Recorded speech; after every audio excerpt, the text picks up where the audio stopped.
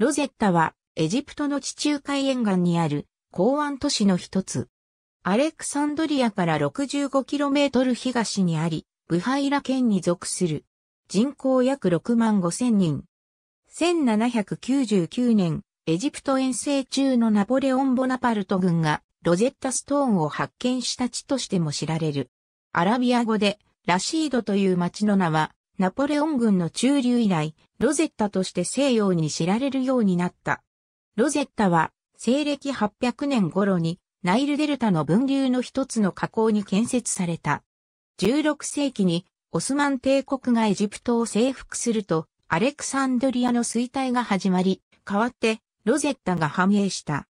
1798年から1801年にかけてのナポレオン・ボナパルトのエジプト遠征の際には重要な占領地となった。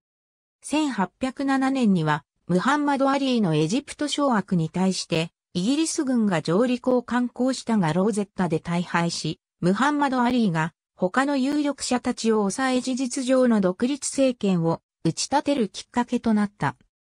しかし19世紀にマフムーディや運河が完成し、アレクサンドリアが近代港湾として復活した後は、ロゼッタのナイル川の河口港としての重要度は低下していった。ロゼッタは19世紀にはオスマン帝国時代の邸宅が立ち並び空気も清涼な海辺の田舎町としてイギリス人の観光地となった。ありがとうございます。